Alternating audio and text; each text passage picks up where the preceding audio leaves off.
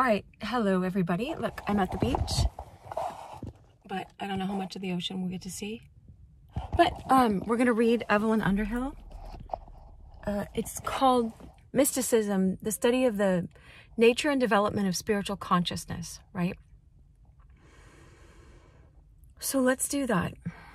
It's such a it's such such an amazing book. Uh, it was written in 1910. That's why it's free for me to read for us. I was going to just read it myself, but I always want to just, I want everybody in the whole world to experience the goodness of things that, that come my way. Um, that's one of the things I like doing is connecting people with like the best resources spiritually, right? And so, and psychologically, I'm a psychologist in my day job for the past 20 plus years. So I'm a doctor, Dr. Cheryl Meier.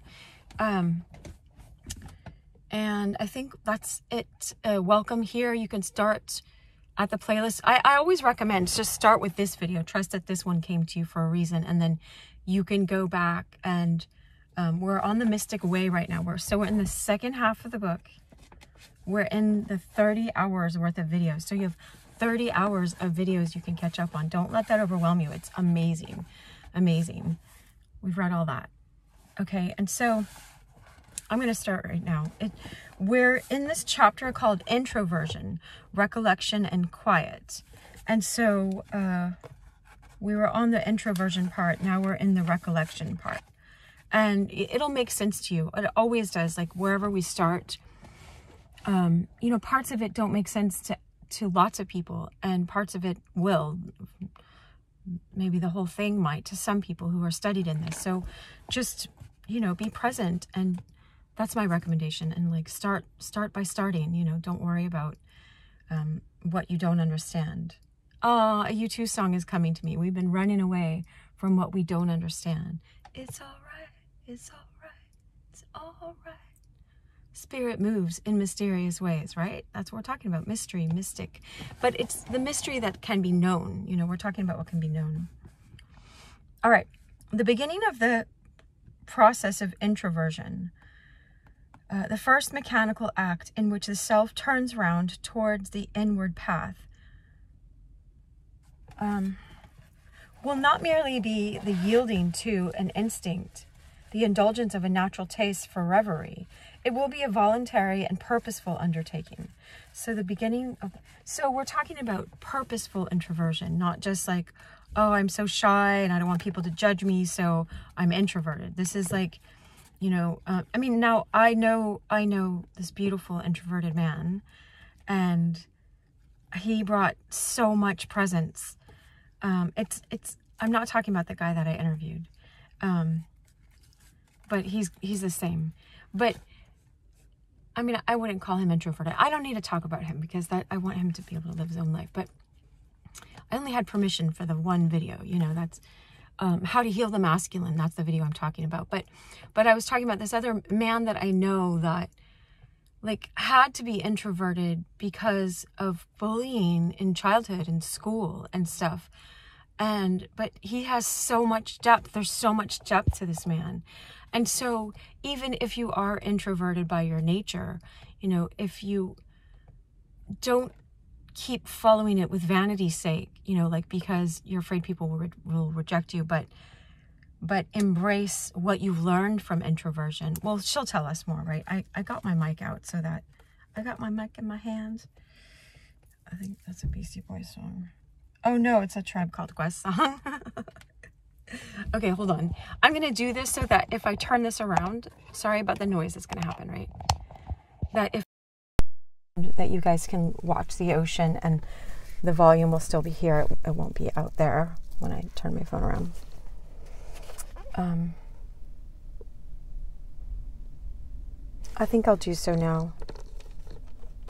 All right, let's see what they were she was saying though, because if you know, if you've been here before, you know, I don't want to spend a, a lot of time just setting up my camera, but and I set it up beforehand, but somehow I'm a little bit of a perfectionist, so I always want to switch it. Let's see what you're seeing. Uh, you might be seeing this guy on the phone and the ocean behind him.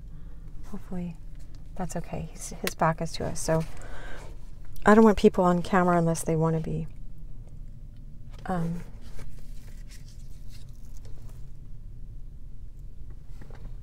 oh, see, that's I'm using him. Oh, here's who's moving, so it's fine. Oh, I'll, I'll block him anyway. I'm using this owl mirror that I found. There. Okay. So, um, I think I found it in Turkey or Mexico. It doesn't matter. Uh, the beginning of the process of introversion, the first mechanical act in which the self turns round towards the inward path, will not merely be the yielding to an instinct, the indulgence of a natural taste for reverie. It will be a voluntary and purposeful undertaking. You know, kind of like hermits who go um, into the, the cloister, the monastery, you know. I'm gonna, I, I might, I might do this every now and again. It's, it's a great Rumi quote anyway. There is a voice that doesn't use words. Listen, if if I see someone that looks like a kid, if I happen to be paying attention, then I'm gonna block because. Anyway, okay.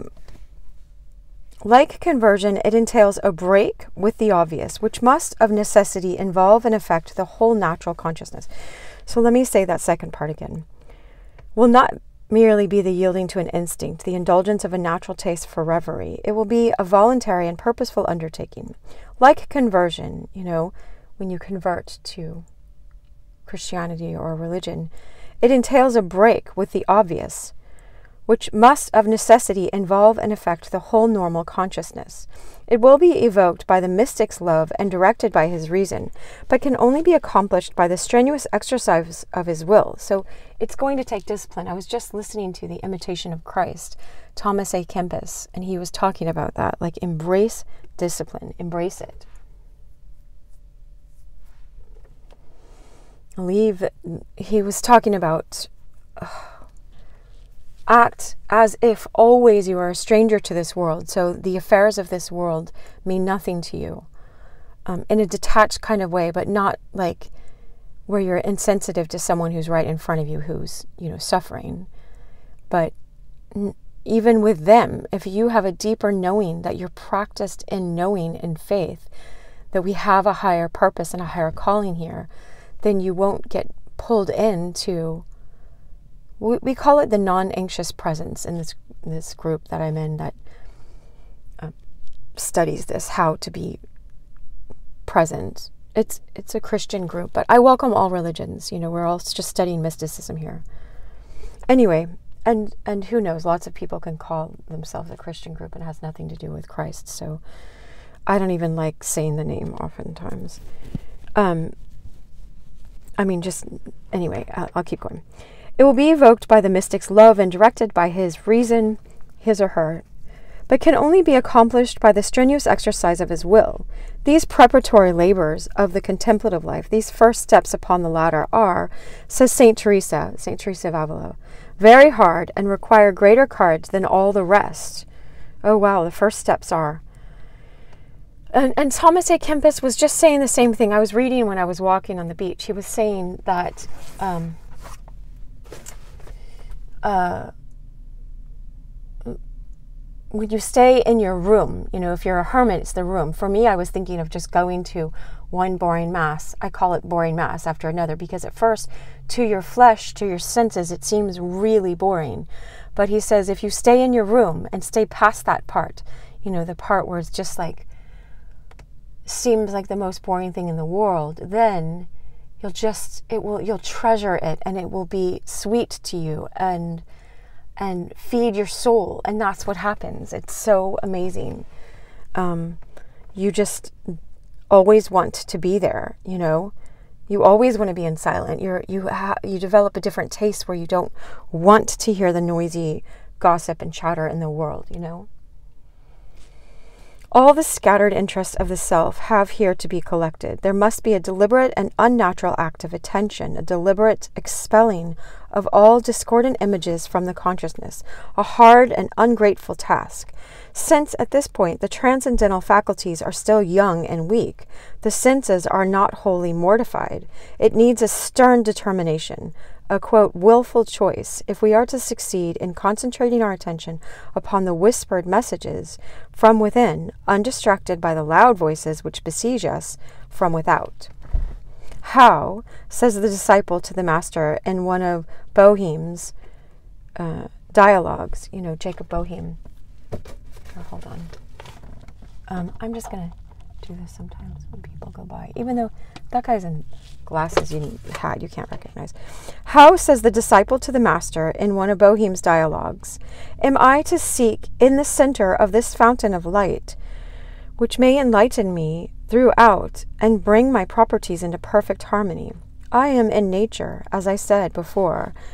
And which way shall I pass through nature and the light thereof, so that I may come into the supernatural and supersensual ground whence this true light, which is the light of minds, doth arise, and this without the destruction of my nature or quenching the light of it, which is my reason. Okay, and so I might read that again. Um, how, says the disciple to the master, and the master's capital M, in in one of Boehme's dialogues, am I to seek in the center this fountain of light which may enlighten me throughout and bring my properties into perfect harmony? I am in nature, as I said before.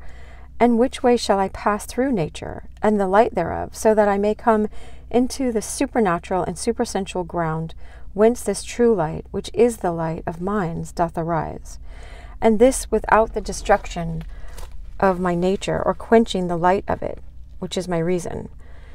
Okay, that's a long question. What I'm sensing from it is like St. John of the Cross says it, and I don't know if we talked about it. We might have talked about it in another video, but it's worth bringing up again. It was like so profound to me when it came to me is this idea of if there's a if there's a let me just turn you back around facing me if there's a person that's fishing right let's say you're the fish and it's like you want to know mystically the light of the sun. Um, but this other light that they shine in to catch the fish blocks you from the light of the sun. And that's what St. John of the Cross, it was so helpful to understand. I hope I never ever forget, you know, even in the moment, we don't want to forget because it's like, um, it's like we have the light of our senses. You know, we might want something in this world. And because we're looking at that, that light blocks us from the deeper light of the love of God that would just overwhelm us and make us feel like fully loved and fully valuable and fully known and everything fully that we ever wanted fully, you know, fully satiated in God in God's godness. I call it that sometimes. Divine love's divine love. And and so we think we're never going to know that because we don't know that yet. You know, we had just the the paltry and I'm not blaming our parents, just experience in childhood of sometimes love, intermittent love, you know, and glimpses of love and just always longing for more. And so we think we got to just hold on to this high, you know, we use that phrase a bird in the hand is better than two in the bush like um, we use it in the in the wrong way because we think I better keep holding on to this for dear life when really you know whoever loses his life will gain it. And the one who gains his life will lose it. Well if you gain it in this world you'll lose your real life your soul life right? Understand that. So that's what he's talking about. Okay, but she goes on, so good, so we'll understand more. Master, cease but from thine own activity, steadfastly fixing thine eye upon one point, ellipsis. For this end, gather in all thy thoughts, and by faith press into the center, laying hold upon the word of God, which is infallible, and which hath called thee. Be thou obedient to this call, and be silent before the Lord, sitting alone with him in thy inmost and most hidden cell. Oh, like the cell that Thomas à Kempis was talking about. Okay, but it, in thy inmost and most hidden cell, thy mind being centrally united in itself and attending his will in the patience of hope, so shall thy light break forth as the morning, and after the redness thereof is past, the sun himself, which thou waitest for, shall arise unto thee, and under his most healing wings thou shalt greatly rejoice, ascending and descending in his bright and health giving beams.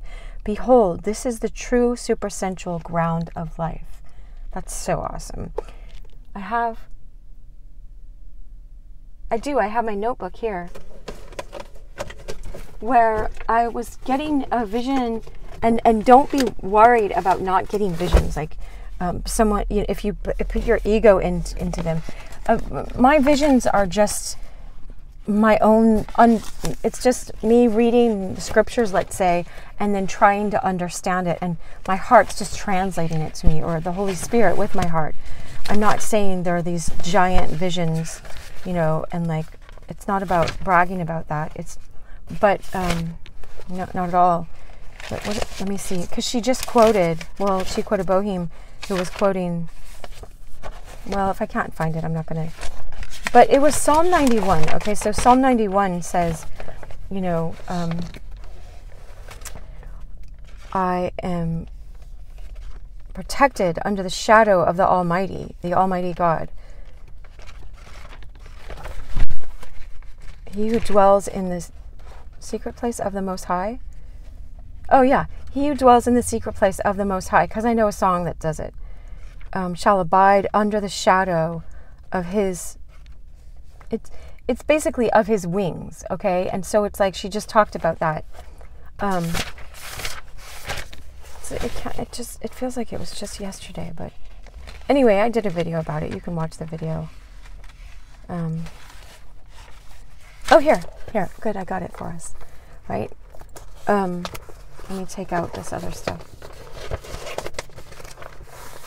Okay, it was so cool because she just said so shall thy light break forth as the morning, after the redness thereof passes, and the sun will wait for you, you know, which thou waitest for, shall arise unto thee, and under his most healing wings thou shalt greatly rejoice, right?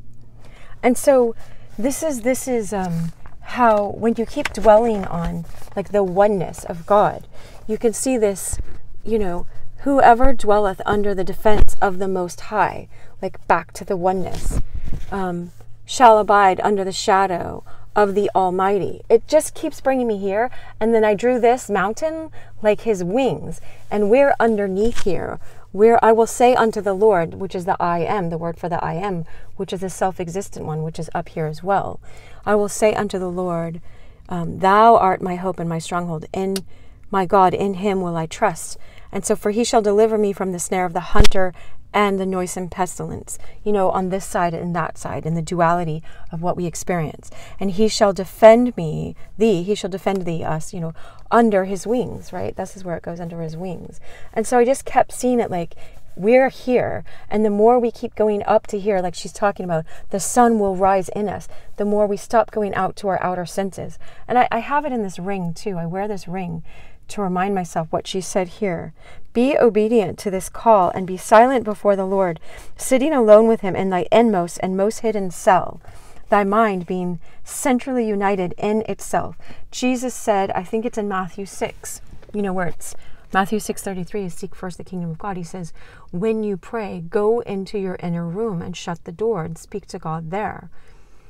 And there he will hear you secretly and reward you. It's the word is manifestly. So it's he will manifest this reward to you. And it could be in what she's talking about well you're where you will start experiencing this bright sun within you. The the it burn it starts burning away these other parts of you that were were ruling you and are not meant to rule you you know like our vices and stuff like that. And so it does manifest. It might not manifest in like a ferrari. There's probably a ferrari in this parking lot I'm, I'm by this awesome beach. Obviously, well, I mean, you can tell it's it's awesome because we come here so often. But yeah, the Ritz Carlton is the hotel right over there. Oh, I guess shoot, I don't want to ident. I never want to identify where I am. Um, Northern California. No, anyway, um, I, I don't like identifying because, uh, I mean, uh, you're welcome here. I identify it to locals, who, like people that, anyway, I, I'll just stop going on.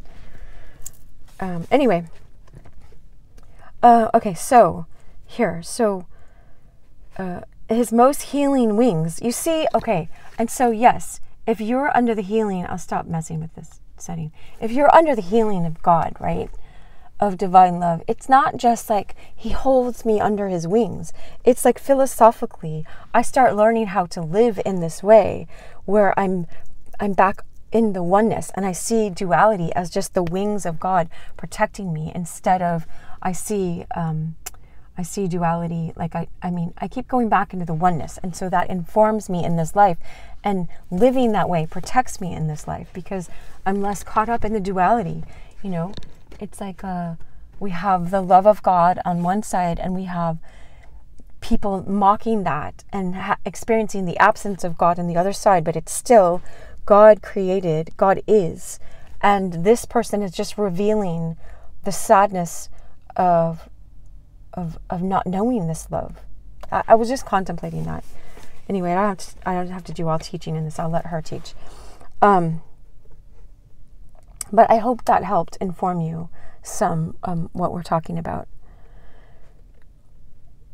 Behold, this is the true supersensual ground of life. This is the dialogues of the supersensual life from Boehme.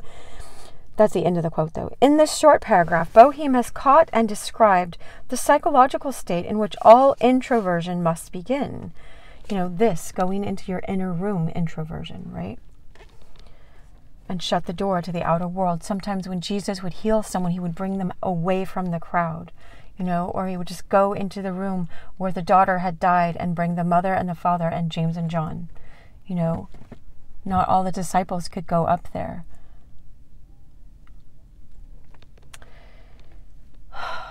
In this short paragraph, okay, so he's caught and described the psychological state in which all introversion must begin.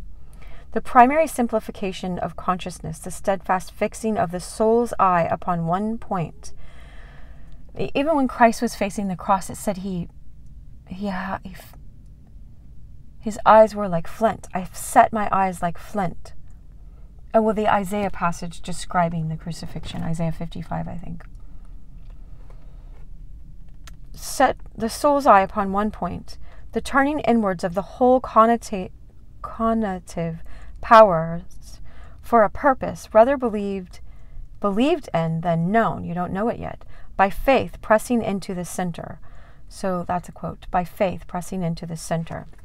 The unfortunate word recollection, which the hasty reader is apt to connect with remembrance, is the traditional term by which the mystical writers define just such a voluntary concentration, such a first collecting or gathering in of the attention of the self to its most hidden self. So you're not recalling like recollection, like remembering. You're recollecting. Like I was just hearing Humpty Dumpty sat on a wall. Humpty Dumpty had a great fall. All the king's horses and all the king's men couldn't put Humpty back together again, you know? There's all these pieces of yourself. As someone um, last night that I was sp- speaking to called it, he was a priest, he's a priest, but he was talking, it's called a persona, these fragmented personas. When you don't forgive someone, he says, it's a fragmented, frozen persona of that person, and you're only seeing that frozen, fragmented part that's not even their real essence. And and it stops the flow of love. That's that's my translation after that part. And so what we're doing is we're recollecting ourselves and going back into some people call it like your baptized self, your soul self, your higher self, your essence self, you who who is you before you had a name you know, the beingness of you, that God shared Godness with you because you're both divine and have this human body, you know. C.S. Lewis says we would be tempted to to worship each other if we saw each other in our spiritual forms. But I know also other mystics that have seen ugly animals. St. John of the Cross talks about it, like the reptiles of our actions and all these horrible things that surround that um, that so easily entangle us, let's say. Um,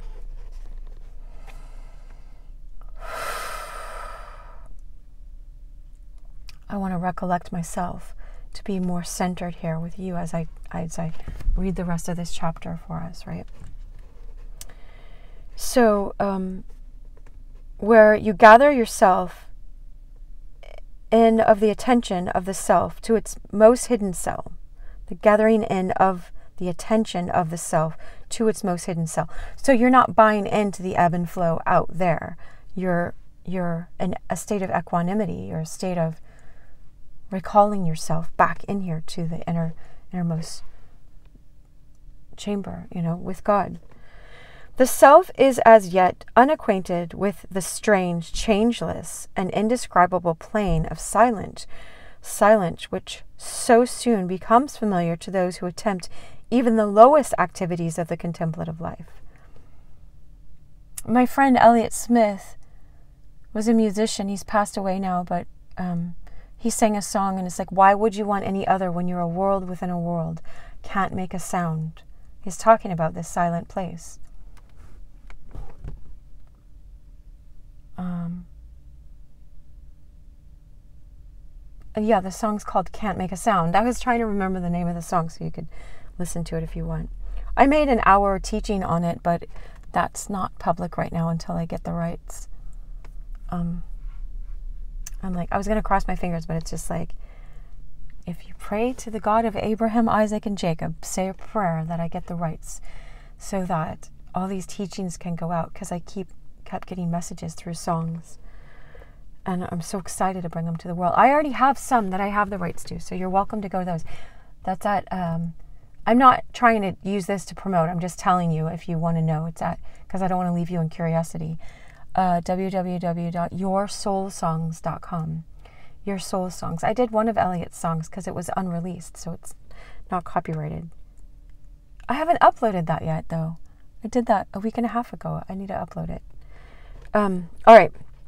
It will be by the time this goes up, I'm pretty sure. This self, okay, so. So they're talking about the silence in, that you know of, even when you just do the beginning of this where the noises of this world are never heard and the great adventures of the Spirit take place. That's so awesome. Um, that self is as yet unacquainted with the strange, changeless, and indescribable plane of silence, which is so which so soon becomes familiar to those who attempt even the lowest activities of the contemplative life, where the noises of the world are never heard and the great adventures of the spirit take place it, it's a world within a world. And, and uh, Bob Marley saying the same thing. He said, Man is a universe within himself. It stands here between two planes of being. The eye of time is still awake. It knows that it wants to enter the inner world, that interior palace where the King of Kings is guest. But it must find some device to help uh, it over the threshold, rather, in the language of modern psychology, to shift that threshold and permit its subliminal intuition of the absolute to emerge.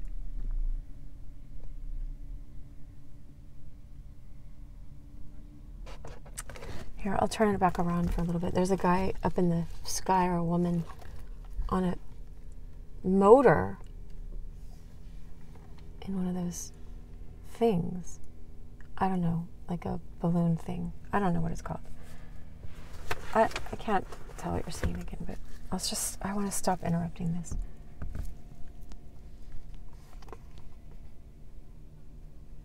Okay.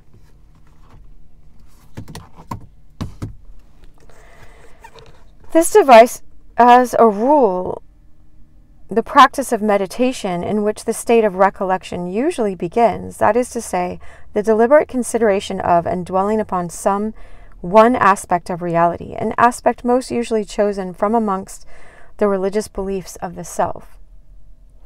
Thus, Hindu mystics will brood upon a sacred word, whilst Christian contemplatives set before their minds one of the names or attributes of God, a fragment of Scripture like the Jesus prayer Lord Jesus Christ, Son of God, have mercy on me, a sinner. That's a fragment of a scripture. uh, there's a book called The Way of the Pilgrim, and um, there's a lot of ascetic books that recommend doing that because um, and John Butler you can watch I have lots of one minute clips of John Butler I love him he's done the Jesus prayer like that he taught me it like that um, over video you know for 30 years now I think he's done it and he just like you can see the evidence of what it does in your life you know you're not doing it for that end but it helps you detach from these constant thoughts that are just going and going and going that we do, we need it's important to learn to let go of. But thus Hindu mystics will brood upon a sacred word, whilst Christian contemplatives set before their minds one of the names or attributes of God, a fragment of Scripture, an incident of the life of Christ, and allow, indeed encourage, excuse me, this consideration and the ideas and feelings which flow from it to occupy the whole mental field. This powerful suggestion, kept before the consciousness by an act of will, overpowers the stream of small suggestions which the outer world pours incessantly upon the mind. The self, concentrated upon this image or idea, dwelling on it more than thinking about it, as one may gaze upon a picture that one loves, falls gradually and insensibly into the condition of reverie, a recollected state, you know, and protected by this holy daydream from the more distracting dream of life, sinks into itself and becomes, in the language of asceticism, recollected or gathered together. Although it is deliberately ignoring the whole of its usual external universe, its faculties are wide awake. All have had their part in the willful production of this state of consciousness, right? And this it is which marks off meditation and recollection from the higher or infused degrees of orison. Such meditation as this, says Richard of St. Victor, is the activity proper to a mystic who has attained the first degree of ardent love. By it, quote, God enters into the mind, end quote, and the mind also enters into itself. That's awesome. And thus receives in its inmost cell, quote, first visit of the beloved, the first visit of the beloved. End quote. It is a kind of halfway house between the perception of appearance and the perception of reality. To one in whom this state is established, consciousness seems like a blank field, save for the one point in its center, like this. The subject of the meditation. Towards this focus, the introversive self seems to press inwards from every side still faintly conscious of the buzz of the external world outside its ramparts, but refusing to respond to its appeals. That's so strange because I was like, maybe I ought not to turn my camera around when that person's in the air because who cares? You know, who cares what we're what we're looking at? If it's me, if it's the ocean, if it's if it's the roof of the, my car, you know, just be present. Presently, the subject of meditation begins to take on a new significance, aglow with life and light. The contemplative suddenly feels that he knows it in the complete, vital, but indescribable way in which one knows a friend. Ah, where you can't, like what I was talking about my friends earlier, you know, you can't describe the essence of these two these two men that I'm talking about unless you met them and and knew a bit about them. You can, you know, if you watch the Healing the Masculine, that because that's like an hour and 20 minutes. You get a, a, taste, you get a sense of, of how my friend is, you know. Um, but it's like that. And so you you enter into this quiet state where it's just like, oh, I see. When I go up here, everything in life makes sense. And when I'm holding on to this, the one divine love, God, then I don't care what happens here. You know, I'm not I'm not worried about what happens because I have God, you know. Um, Kierkegaard said that, you know, he's like, if it's true that, you know, those who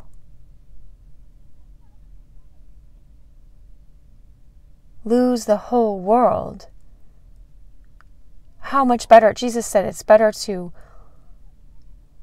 lose the whole world and gain your soul, right? And Kierkegaard was saying, like, and what have you lost?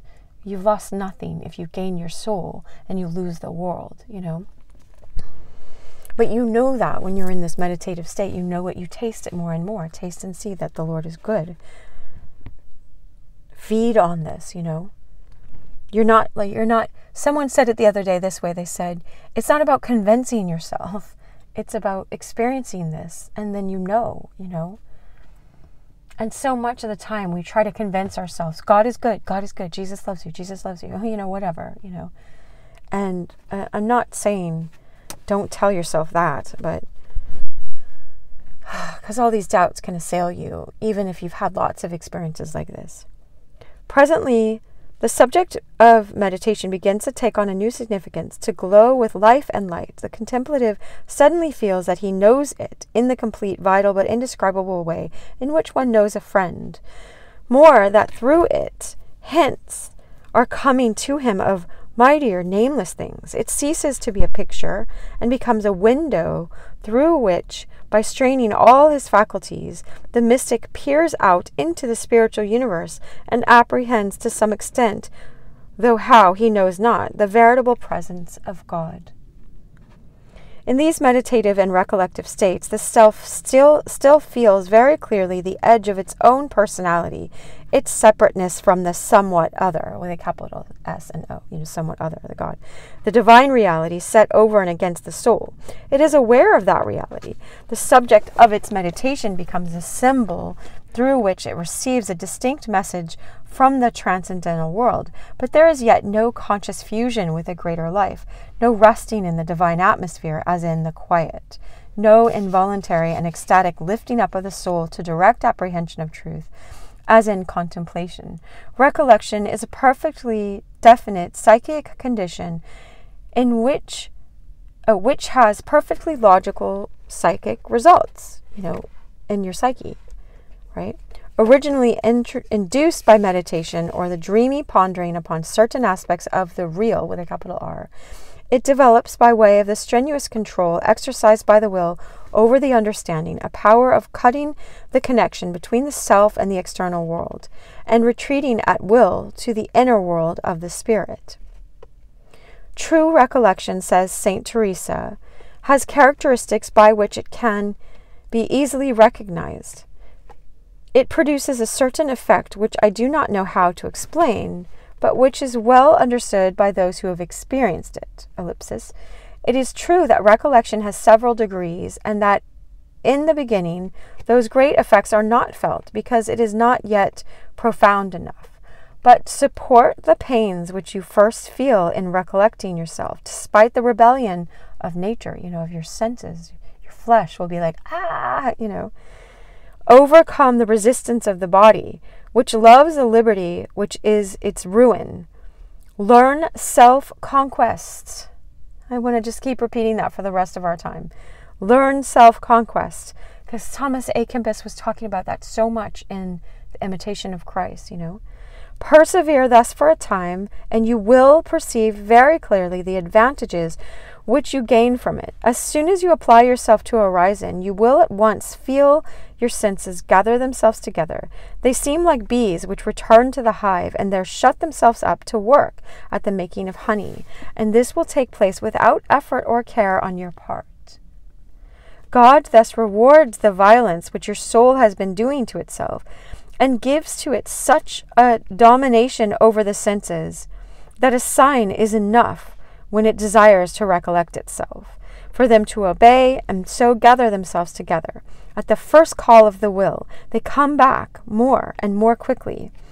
At last, after many and many exercises of this kind, God disposes them to a state of absolute repose and of perfect contemplation. End quote.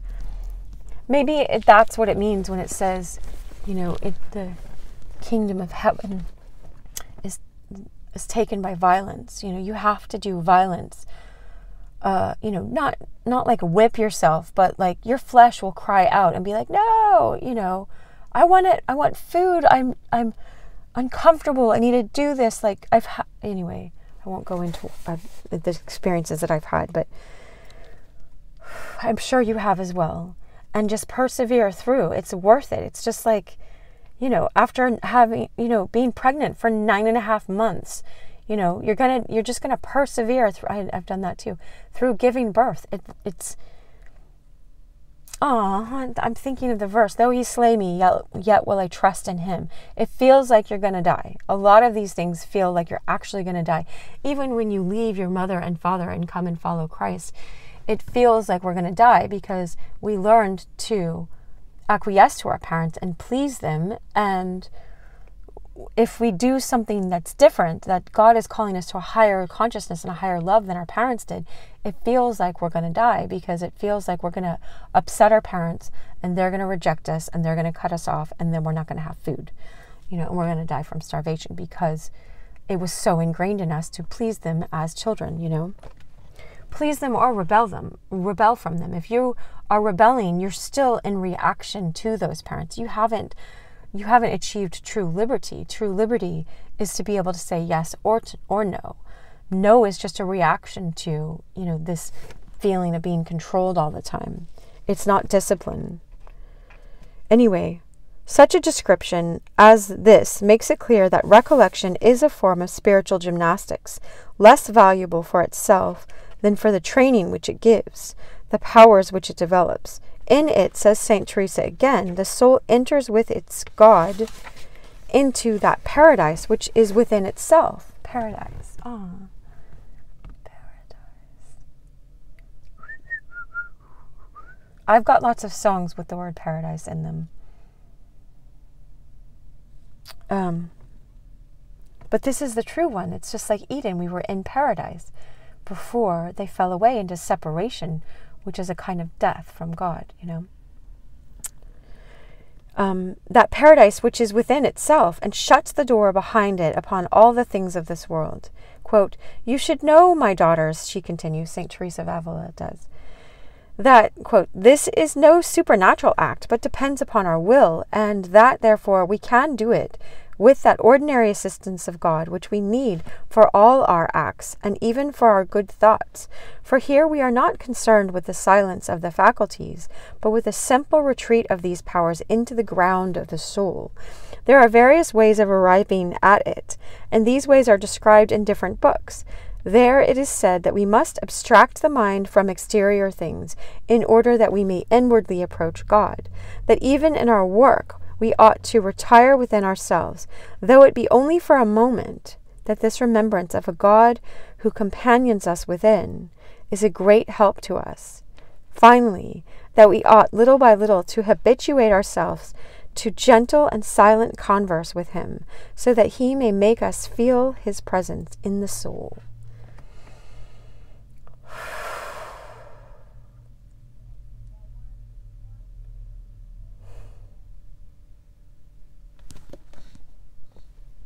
The sun's not setting yet, but it's behind all those clouds over there.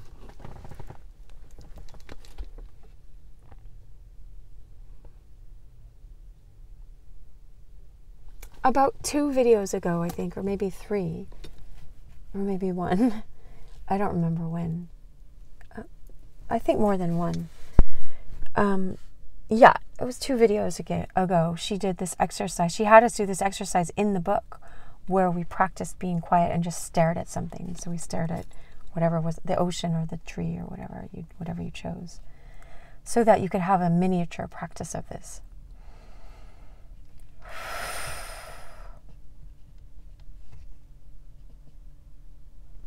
All right. Now we're going into this section called quiet. More important for us, because more characteristically mystical, is the next great stage of orison, that curious and extremely definite mental state which mystics call the interior silence or orison of quiet. That's like uh, Elliott singing, can't make a sound, you know. This represents the results for consciousness of a further degree of that inward retreat which recollection began. Out of the deep, slow brooding and pondering on some mystery, some incomprehensible link between himself and the real, with a capital R, the contemplative, perhaps by way of a series of moods, which his analytic powers may cause him nicely to distinguish, glides almost insensibly on to a plane of perception for which human speech has few equivalents. It is a plane which is apparently characterized by an immense increase in the receptivity of the soul, and by an almost complete suspension of the reflective powers. The strange silence, which is the outstanding quality of this state, almost the only note in regard to it which the surface intelligence can secure, is not describable. Here, as Samuel Rutherford, Rutherford said of another of life's secrets, come and see will tell you much. Come nearer will say more. Oh, that's beautiful. Here, the self has passed beyond the stage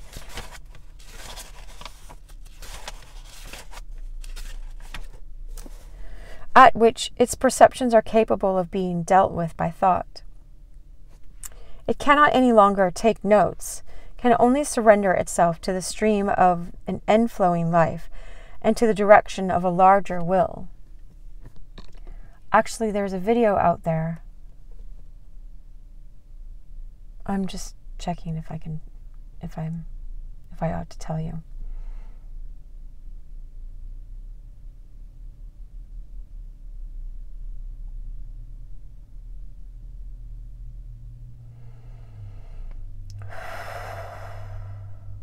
Okay, it's called wide angle vision, and I think it's from at least 10 years ago. And I learned it from the actual person who taught this, and this guy is just teaching the same thing. But when you relax your eyes, right, as if you're looking at this whole horizon at once. This is just this passage in the book reminded me of it. Um, the Native Americans, I learned it from a man who learned it from a Native American, said and I'm part Native American, said we usually look at the world in little tunnel vision like this click, click, click. We take pictures.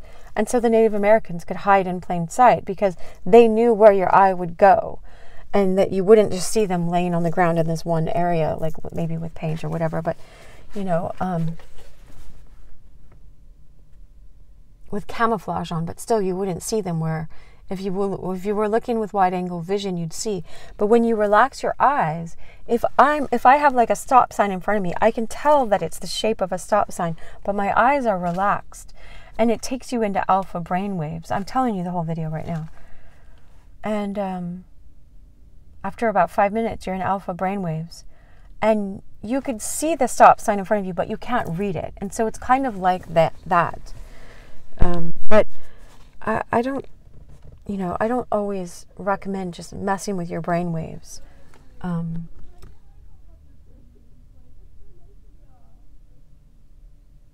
but when you practice this kind of meditation, you notice that you're sort of in that brain state anyway. Anyway, that's enough. I, I don't want to lead people off the path.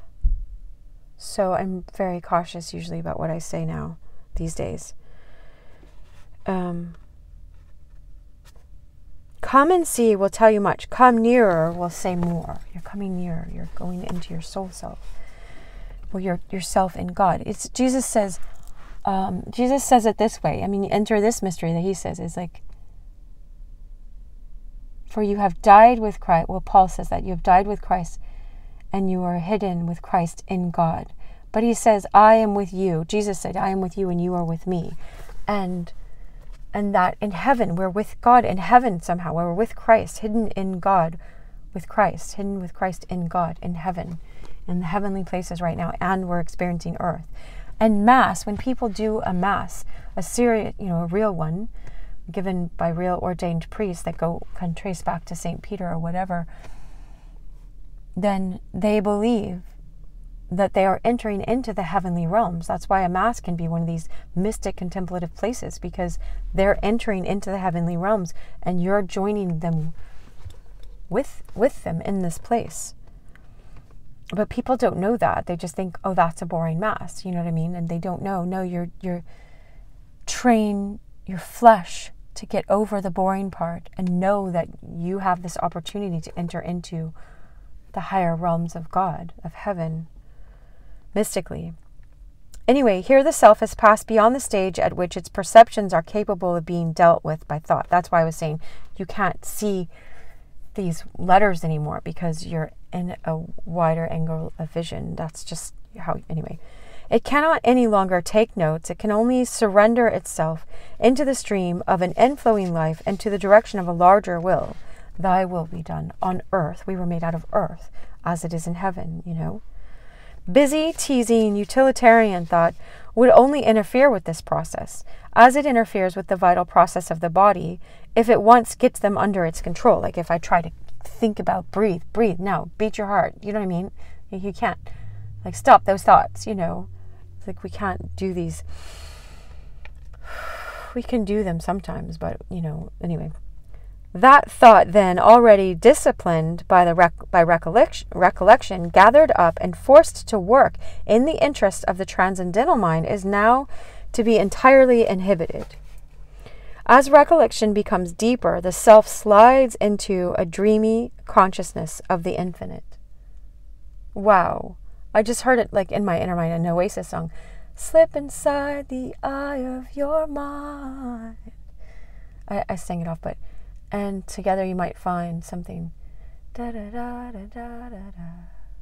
I've listened to that song a lot, and it's talking about this. Um, so Sally can wait.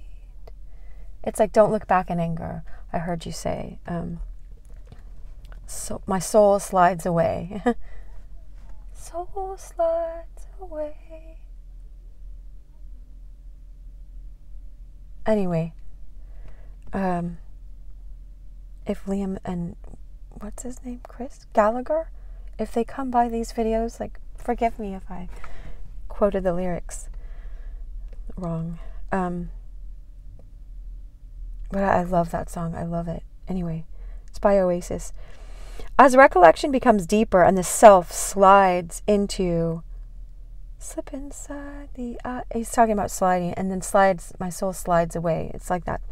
Slides into a dreamy consciousness of the infinite. The door tight shut on the sensual world. It becomes aware that it is immersed in a more real world which it cannot define. It rests quietly in this awareness, quiet, silent, utterly at peace, in the place of the struggles for complete concentration, which mark the beginning of recollection. There is now an entire surrender of the will and activity of the very power of choice. And with this surrender to something bigger, as with the surrender of conversion, comes an immense relief of strain. You're like, oh, yes, we're just. This is quiet in its most perfect form, this sinking, as it were, of the little child of the infinite into its father's arms. Hmm. There's a psalm that says that. There's this guy, not John Michael, Michael Talbot, Talbot, that sings a song, Come to the Quiet, that's based on a psalm. Um, my soul at rest in its daddy's arms.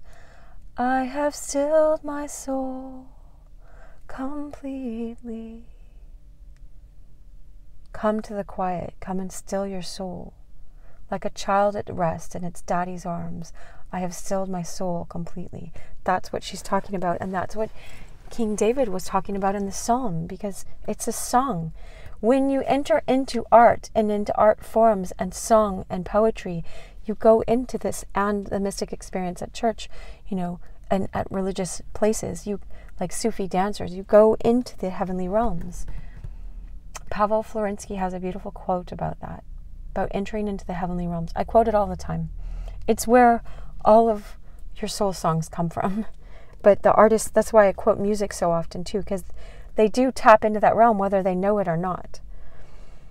But um, you can go into this quiet, your quiet of surrender, of like, oh, I'm in my loving daddy's arms, you know?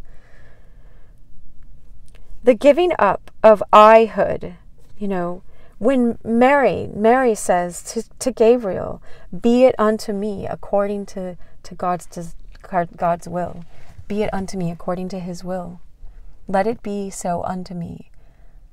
Uh, and I really think that, I know the Beatles act like they weren't quoting this because they didn't want to get under religious people attacking them. But when they said, you know, whisper,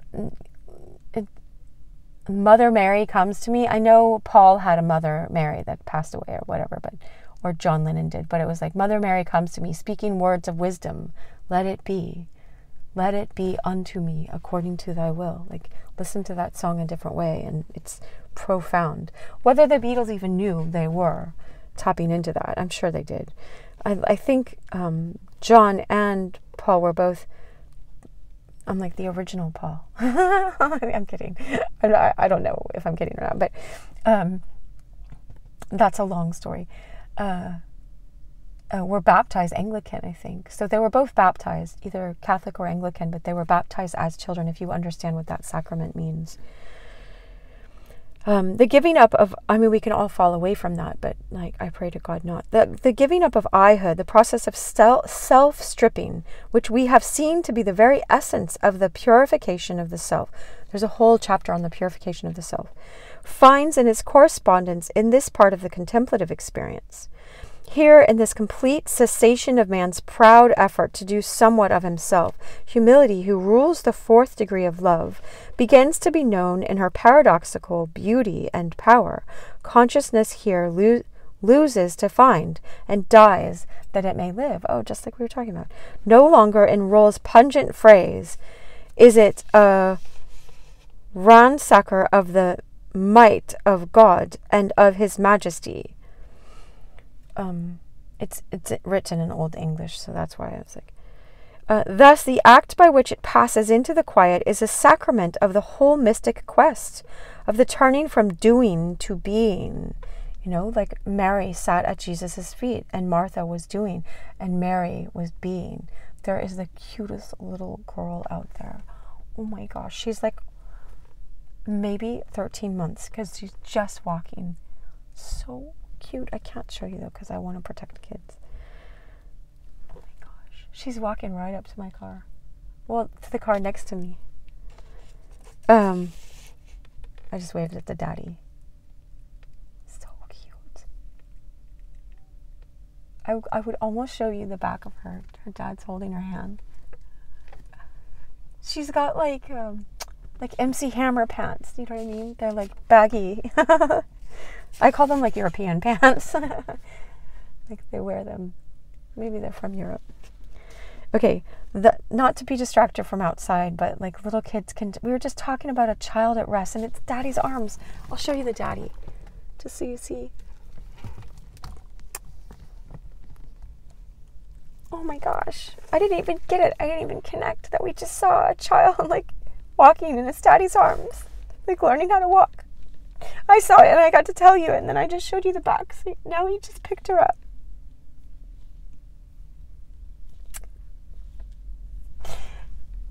God is so sweet. like, I'm sorry I can't show you more of that because I don't. I'm just so protective of kids. Maybe to a fault, but whatever. I'd rather be on that fault. Um. Okay, so we're almost finished, right? Because we're almost at the end of our time. I try to stay within about an hour so people can set aside an hour or half an hour if you watch this at two times speed. My friend's like, I would never speed you up, you know, my friend. I won't say her name. Here, in this complete cessation of man's proud effort to do something of himself, humility, who rules the fourth degree of love, begins to be known in her paradoxical beauty and power. Consciousness here loses loses to find and dies that it may live. No longer in Rolle's pungent phrase is it, a ransacker of the might of God and of his majesty. Thus, the act by which it passes into the quiet is a sacrament of the whole mystic quest, of the turning from doing to being, the abolition of separateness in the interest of the absolute life with a capital A, right? The state of quiet, we have said, entails an utter suspension of the surface consciousness, yet consciousness of the subject's personality remains. Hold on, I was just saying a prayer.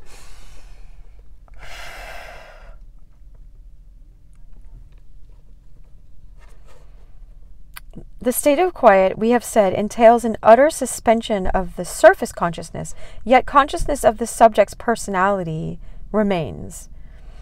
It follows generally on a period of deliberate and loving recollection of a slow and steady withdrawal of the attention from the channels of sense.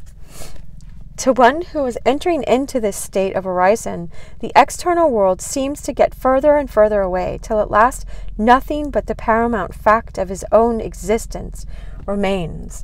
If you study Dr. Joe Dispenza, he's like in space. I went to a week long advanced training and it's it was intense. He did a five hour meditation. I have a video called After My Five Hour Meditation with Joe Dispenza or something like that.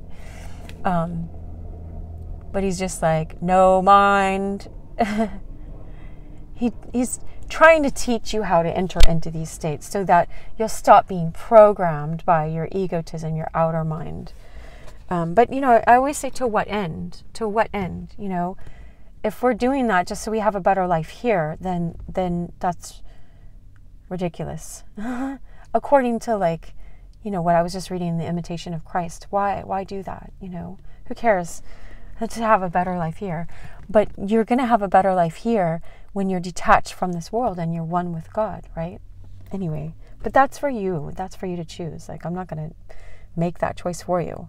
It's not for me to convince you. Okay, till at last nothing but the paramount fact of his own existence remains. So startling very often is the deprivation of all his accustomed mental furniture, of the noise and flashing of the transmitting instruments of sense, that the negative aspect, you know, like the the it's like if you look at the shadow and the light, like this this shadow, uh, the negative, the absence of all of this, you know, chatter, chatter, chatter. The negative aspect of his state dominates consciousness, and he can but describe it as nothingness and emptiness, a naked orison. He is there, as it were, poised, resting, waiting. He does not know for what. Only he is conscious that that all even in this utter emptiness, is well, all is well, like St. Julian of Norwich found. Presently, however, he becomes aware that something fills this emptiness. Something omnipresent, intangible, like sunny air. Ah, John Butler said, grace is like spiritual sunshine, right? Sunny air. Ceasing to attend to the messages from without, he begins to notice that which has always been within.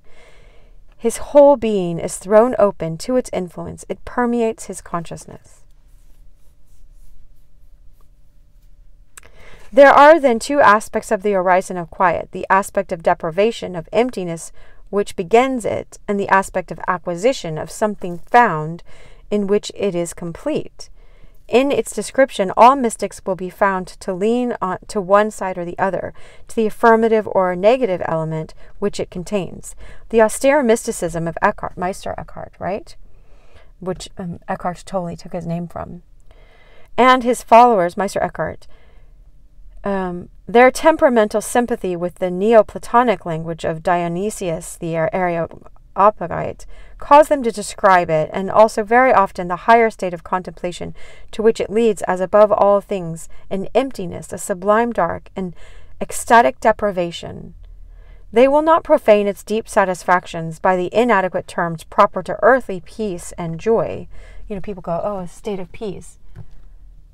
There's a mommy with her little son. He looks about two. He's toddling along. I'll leave them be. All right, because I'm anyway. Um, they will not profane its deep satisfaction by the inadequate terms proper to earthly peace and joy, and true to their school, fall back on the paradoxically suggestive powers of negation. To St. Teresa and mystics of her type, on the other hand, even a little and inadequate image of its rapture seems, seems better than none. To them, it is a sweet calm, a gentle silence, in which the lover apprehends the presence of the beloved, a God given state, you know, by grace, over which the self has little control. In Eckhart's writings, enthusiastic description of the quiet of inward silence and passivity as the fruit of a deliberate recollection abound.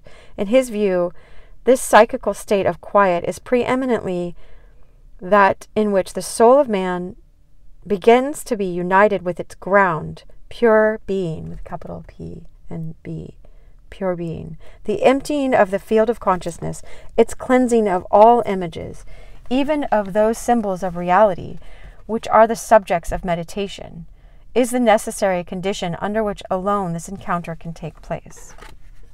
The soul, he says, with all its powers, has divided and scattered itself in outward things, each according to its functions the power of sight in the eye, the power of hearing in the ear, the power of taste in the tongue, and thus Thus they are the less able to work inwardly, for every power which is divided is imperfect. So the soul, if she would work, I'm going to and finish this quote. If she would work inwardly, must call home all her powers and collect them from all divided things to one inward work. Ellipsis. If a man will work an inward work, he must pour all his powers into himself as into a corner of the soul and must hide himself from all images and forms.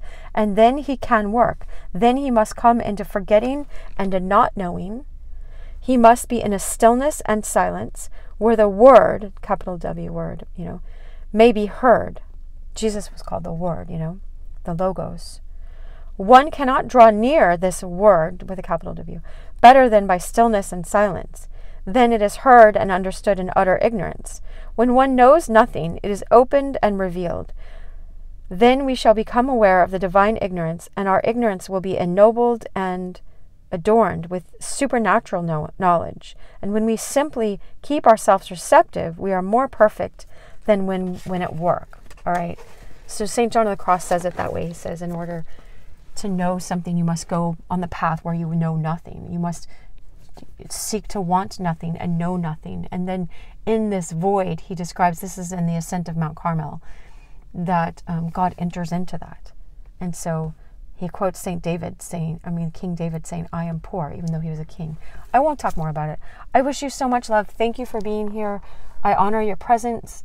I'd appreciate it if you subscribe if you're here. If you made it all the way to this part, subscribe. You definitely will be into the stuff that I share if you made it this far. And um, uh, like and share to like minded, you know, and comment because when you comment, it YouTube pushes videos out more if there's more comments. And so do your favorite quote or your uh, favorite music lyric. I don't care. Just I think it it ought to be six words or more or something is what trips their algorithm. You know, if you'd like to, then you're participating in bringing this to more people. That's what you're choosing to do. All right, much love.